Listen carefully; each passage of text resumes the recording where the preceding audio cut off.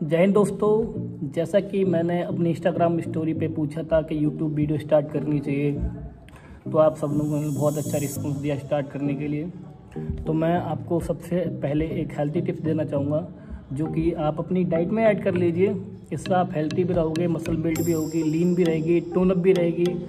जिस हिसाब से कैलरीज इनटेक करोगे, उस हिसाब से बॉडी रिस्पॉन्स करेगी। तो सबसे पहले हमारा आता है चिकन दूसरे नंबर पर ओट्स, तीसरे नंबर पर बॉइल्ड एग है, फिर मिल्क है, फ़िश है, नट्स हैं कॉटेज चीज़ है चिक पीस हैं, लेटिन्स हैं, एंड लीन बीफ हैं। ये दस फ्रूट्स हैं आपको, आप अपनी डाइट में ऐड कर लीजिए।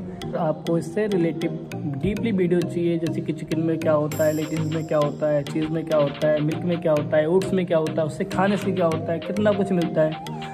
तो आप कमेंट कर दीजिए। मैं आपके लिए स्पेशल वीडियो बना के यूट्यूब पर डाल दूँगा। जय हिंद, धन्यवाद।